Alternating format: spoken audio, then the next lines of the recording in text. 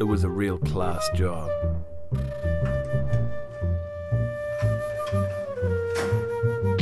I was a real slick customer.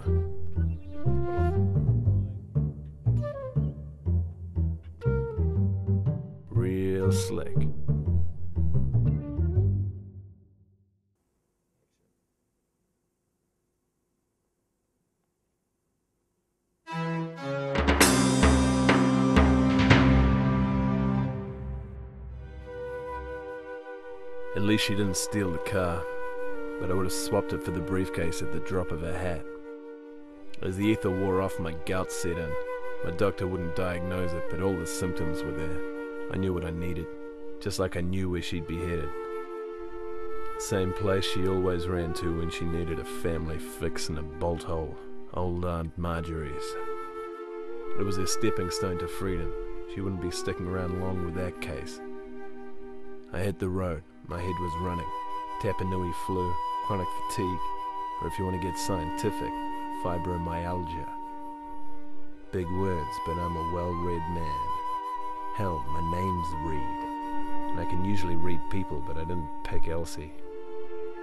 She'd been real cozy the last couple of weeks. Should have seen it coming. Some of the pills make me a little hazy. There's pills for that too. People say the country is good for you. Not for me, plays havoc with my sinusitis, but once I got that briefcase, I'd be breathing easy.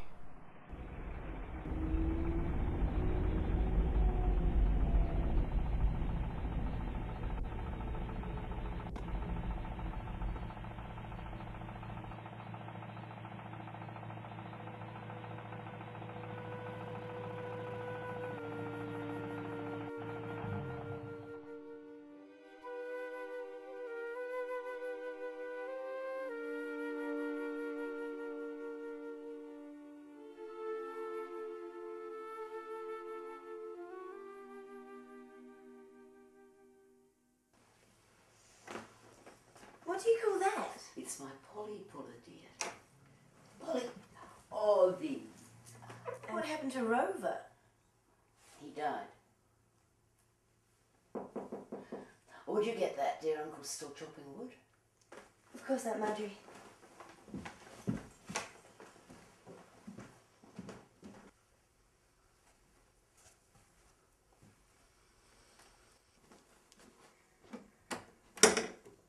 Dollface. Jerry.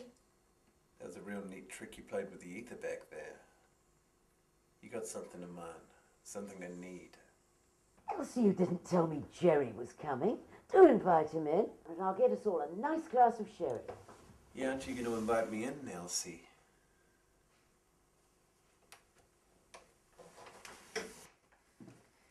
Jerry, I. I. I should have shot you at the door. Give me the case, Elsie. Still treating the encephalitis, Jerry? Did you read the label?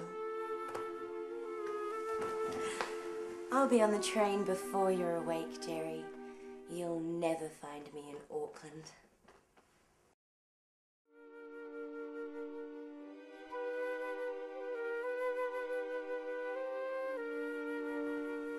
Elsie. Case.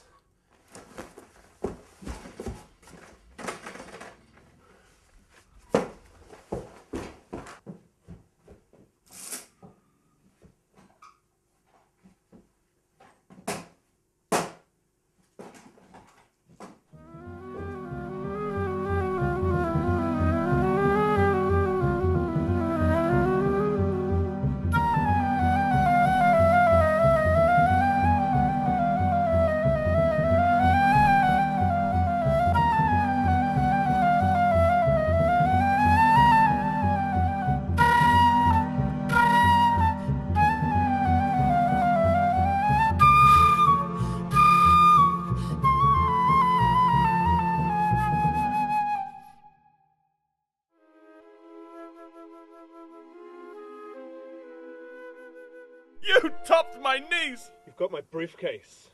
You topped Elsie, you bugger!